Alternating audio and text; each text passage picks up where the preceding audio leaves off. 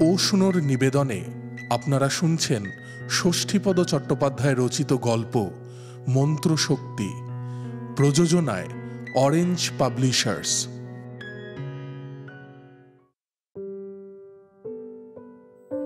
ছেলেবেলায় প্রমথ চৌধুরীর মন্ত্রশক্তি পড়েছিলাম, পড়ে মুগ্ধ হয়েছিলাম। আমার মন্ত্রশক্তির গল্প অন্য, যদিও সত্য ঘটনা। সে অনেক দিন আগেকার কথা। প্রভুপাদ বিজয় কৃষ্ণ গোস্বামী তখন বৃন্দাবনে। তিনি এসেছিলেন বসন্ত উৎসব উপলক্ষে গোবিন্দজিকে দর্শন করতে। একদিন তিনি যমুনার তীরে আপন ভাবে বিভোর হয়ে ঘুরতে ঘুরতে ধ্যানস্থ হয়ে পড়েছিলেন। এমন সময় হঠাৎ কোথা থেকে এক সন্ন্যাসী এসে হাজির হলেন সেখানে। সন্ন্যাসী মৃদু ও কোমল গলায় ধ্যানমগ্ন বিজয়কৃষ্ণকে ডাকলেন। গোসাই, ও গোসাই। বিজয়কৃষ্ণ চোখ মেলে তাকালেন। তাকিয়েই অবাক হয়ে গেলেন। দেখলেন তার সামনে জটাধারী এক বিশাল দেহ সন্ন্যাসী। কি তেজময় দীপ্তি তার সারা শরীরে। কঠোর সাধনার জ্যোতি যেন জল করছে মুখে। সন্ন্যাসীকে দেখে মুগ্ধ হলেন বিজয় কৃষ্ণ। সন্ন্যাসী বললেন, গোসাই আমি বহুদিন ধরে তোমাকে খুঁজছি। কিন্তু কিন্তু কিছুতেই তোমাকে নির্জনে পাচ্ছি না। কেমন আছো গোসাই বিজয় কৃষ্ণ বিস্মিত হয়ে বললেন কে আপনি? আপনাকে তো ঠিক চিনতে পারলাম না। কি করে চিনবে গোসাই এর আগে তো আর কখনো দেখনি আমাকে। আমি আজ একটি বিশেষ প্রয়োজনে তোমার কাছে এসেছি। বলুন কি প্রয়োজন? সন্ন্যাসী একটু চুপ করে রইলেন। তারপর বললেন আমার একটি মন্ত্র আছে সেটি তোমাকে গ্রহণ করতে হবে গোসাই মন্ত্র? কি মন্ত্র? মহামন্ত্র। এটি এটি আমার গুরুদেব কৃপা করে আমাকে দান করেছিলেন। এই মন্ত্র জপ করে যখন যাকে খুশি আহ্বান করবে, তখনই সে তোমার সামনে এসে উপস্থিত হবে। বিস্ময়াবিষ্ট বিজয়কৃষ্ণ জিজ্ঞাসা করলেন, এই মন্ত্রে আমার কি উপকার হবে? সন্ন্যাসী বললেন এই মন্ত্রের গুণে তুমি অসাধ্য সাধন করতে পারবে। তোমার ইচ্ছা মতো যে কোনো কাজ তুমি যাকে দিয়ে ইচ্ছে করাতে পারবে। যদি কোনো খারাপ কাজ করাতে চাই? তাও পারবে। বিজয় কৃষ্ণ কঠিন গলায় বললেন তাহলে এ মন্ত্র আমি গ্রহণ করব না। সন্ন্যাসীও গম্ভীর কণ্ঠে বেশ জোরের সঙ্গে বললেন, এবার তো তোমাকে করতেই হবে। আমার ইচ্ছার বিরুদ্ধেই হ্যাঁ। এবার কিছুক্ষণ চুপ করে থেকে কণ্ঠস্বর অপেক্ষাকৃত নরম করে সন্ন্যাসী আবার বললেন আমি বৃদ্ধ হয়েছি।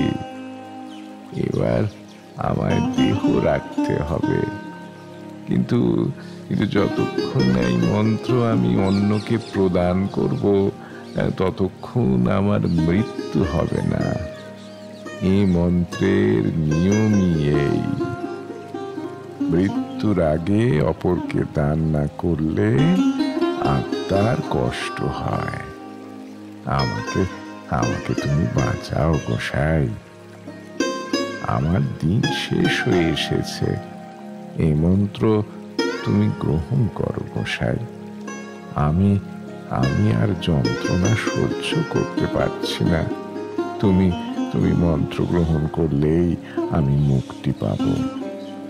বিজয় কৃষ্ণ বললেন, কেন? পৃথিবীতে আমি ছাড়া আর কি কেউ নেই? আছে আছে। কিন্তু এই মন্ত্র গ্রহণ করবার যোগ্য তারা নয়। আমার গুরুর আদেশ সৎ পাত্র ছাড়া মন্ত্র অর্পণ করা চলবে না। মন্ত্র বলে জেনেছি, এই মন্ত্র গ্রহণ করবার তুমি একমাত্র যোগ্য গোসাই বহুদিন তোমার আশেপাশে ঘুরেছি, কিন্তু কিন্তু তোমাকে একলা পাইনি তো। তাই কথাটা বলতে পারিনি। আর তোমাকে আজকে নির্জনে পেয়ে সব কথা আমি প্রাণ খুলে বললাম। তুমি তুমি আমাকে বাঁচাও গোসাই আমি অক্ষম। আপনি অন্যত্র চেষ্টা করুন। বললাম তো, গুরুর আদেশ, সৎপাত্র ছাড়া এ মন্ত্র অর্পণ করা চলবে না। আমারও গুরুর আদেশ আছে। কোন রকম বুজরুকি আমি গ্রহণ করব না। এই তোমার শেষ কথা। বজ্রের কঠোরতা যেন সন্ন্যাসীর গলায়। সেই স্বর শুনে কেঁপে উঠলেন বিজয় কৃষ্ণ ভাবলেন উগ্র যোগী মন্ত্র বলে তার কোনো ক্ষতি করবে না তো? আবার ভাবলেন ওর যা ইচ্ছা করুক, তিনি আর কোনো উত্তর দেবেন না ওর কথার। এই ভেবে আবার তিনি চোখ বুঝে ধ্যান করতে লাগলেন আপনার ইষ্ট দেবতাকে সেই অবসরে ঘটে গেল অঘটন। সন্ন্যাসী তার কানের কাছে মন্ত্রটি বলে অদৃশ্য হয়ে গেলেন। সামান্য দুটি অক্ষর মাত্র, অথচ কি প্রবল তার শক্তি। শোনা মাত্রই মনে গেঁথে গেল। বিস্ময়ে ভয় ঘামতে লাগলেন বিজয় কৃষ্ণ বিষণ্ন চিত্তে, অবসন্ন দেহে তিনি ঘরে ফিরে এলেন। তখন গভীর রাত। বিজয়কৃষ্ণ নিঃশব্দে একাকী ঘরের ভেতরে পায়চারি করছেন। কিছুতেই ঘুম আসছে না। বারবার মন্ত্রটি সত্য কি মিথ্যা, তা প্রমাণ করে দেখবার প্রবল বাসনা যাচ্ছে মনের মধ্যে। কিন্তু কঠোর সংযমে এই বাসনাকে দমন করবার চেষ্টা করছেন তিনি। যে মন বলছে, একবার একবার অন্তত পরীক্ষা করে দেখো। মন্ত্রীর শক্তি যথার্থ কিনা, তা একবার পরীক্ষা করো। আবার সেই মনি বলছে, না, মন্ত্রের শক্তি যদি যথার্থই হয়, তাহলেও ওই সব মন্ত্র কাজে লাগানো যে সৎ সাধকের পক্ষে অত্যন্ত গর্হিত। অতএব, ক্ষান্ত হ এইভাবে অনেক ভেবেচিন্তে নিজের মনের সঙ্গে অনেক বোঝাপড়া করে বিজয় কৃষ্ণ স্থির করলেন অন্তত একটি বার একটি বার মন্ত্রটি যথার্থ কিনা তা পরীক্ষা করে দেখবেন।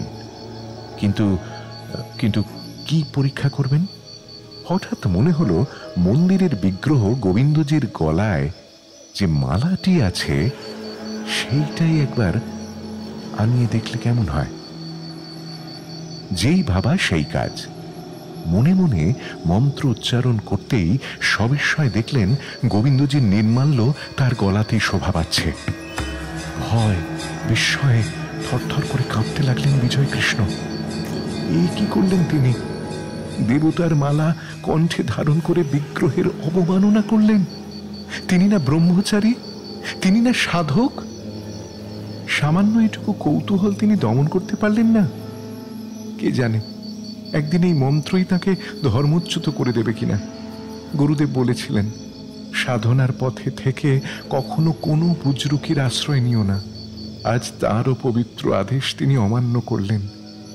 একটি কৌতূহল তার কাছে এতই অসংযত হলো, ছি ছি, এ পাপের প্রায়শ্চিত্ত কেমন করে হবে? রাতের আধার মোছেনি তখনও। ব্রহ্ম মুহূর্তে পাখিরা তখনও মেতে উঠেনি কলতানে। সেই সময় মালাটি হাতে নিয়ে পথে নামলেন বিজয় কৃষ্ণ তারপর খ্যাপার মতো এগিয়ে চললেন সম্মুখের পথ ধরে। একবার শিরোমণি মশাইয়ের কাছে যাবেন তিনি। এই সময় শিরোমণির পরামর্শের একান্তই প্রয়োজন। শিরোমণি মহাশয় তাঁরই মতো একজন ভক্ত। ভগবত শাস্ত্রে গৌরদাস শিরোমণি হলেন অদ্বিতীয় পণ্ডিত। সেই সবে নিদ্রা ত্যাগ করে তিনি প্রাতকৃত্য সাথে মাঠে এসেছিলেন। এমন সময় দেখতে পেলেন একটি ছায়া মূর্তি যেন ধীরে ধীরে এগিয়ে আসছে তাঁর দিকে। মূর্তিটা আরও কাছে এলে বিস্ময়ের অবধি রইল না শিরোমণির। বললেন, এ কি? গোসাই তুমি? বিজয় কৃষ্ণ অশ্রু বিগলিত কণ্ঠে বললেন, আমায় আমায় পথ বলে দাও বন্ধু। আমাকে মুক্তির মুক্তির উপায় বলে দাও। আমি আমি মহাপাপ করেছি। আমি মহাপাপ করেছি।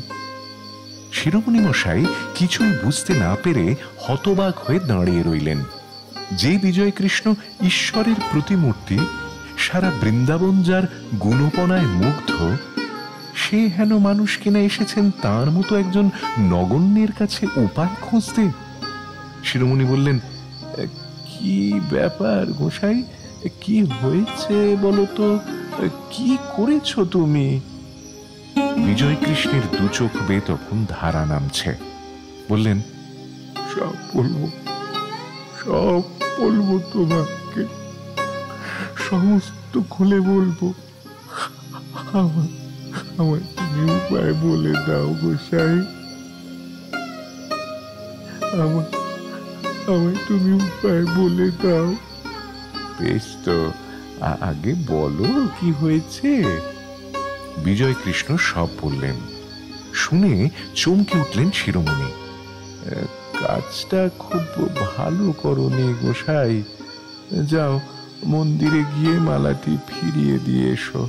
আর প্রার্থনা করো যাতে এই মন্ত্রটি চিরদিনের মতো বিস্মৃত হও তুমি। এছাড়া আর তো কোনো উপায়ে আমি দেখছি না গোসাই কথাটা মনে ধরল বিজয়কৃষ্ণের। তিনি ধীর পায়ে গোবিন্দজির মন্দিরের দিকে এগিয়ে চললেন। বেশ কিছু পথ যাওয়ার পর তিনি দেখতে পেলেন মন্দিরের দুজন পাণ্ডা হন্তদন্ত হয়ে এগিয়ে আসছেন তাঁর দিকে। পাণ্ডাদের দেখে থমকে দাঁড়ালেন বিজয়কৃষ্ণ। পাণ্ডারা কাছে এসে বললেন, কি গোসাই কোথায় যাচ্ছেন? গোবিন্দজির মন্দিরে। তারপর তারপর অকপটে এক এক করে পাণ্ডাদের কাছে গত সন্ধ্যার এবং রাত্রের সমস্ত বৃত্তান্ত খুলে বললেন বিজয়কৃষ্ণ। তার কথা শুনে হাসতে লাগলেন পাণ্ডারা। গোসাই গোসাই আপনি মহাপুরুষ। এইমাত্র গোবিন্দজির স্বপ্ন পেয়ে আমরাই আপনার কাছে যাচ্ছিলাম এই মালাটি ফিরিয়ে আনতে। দিন দিন মালাটা দিন। বিজয় কৃষ্ণ কয়েক মুহূর্ত স্তব্ধ হয়ে দাঁড়িয়ে রইলেন। তারপর বললেন, না, মালাটি আমি পরিয়ে দিয়ে আসব ঠাকুরের গলায়। আর প্রার্থনা করে আসব, মন্ত্রটা যেন অচিরেই আমি বিস্মৃত হই। পান্ডারা বললেন, আপনাকে আর অত দূর যেতে হবে না গোসাই ঠাকুর আমাদের বলেই দিয়েছেন, এ মন্ত্র আপনি একেবারেই বিস্তৃত হবেন না বটে। তবে এ মন্ত্রের ক্রিয়া সম্পাদনে আর আপনার কোনো প্রবৃত্তি হবে না। আনন্দে ভরে উঠলেন বিজয় কৃষ্ণ মালাটি পাণ্ডাদের হাতেই প্রদান করলেন। তারপর পাণ্ডাদের বিদায় অভিবাদন জানিয়ে গোবিন্দজির মন্দিরের দিকে তাকিয়ে হাত জোর করে প্রণাম করলেন তিনি। বিজয় কৃষ্ণের প্রশান্ত মুখখানি তখন ভোরের আলোয় উদ্ভাসিত হয়ে উঠছে।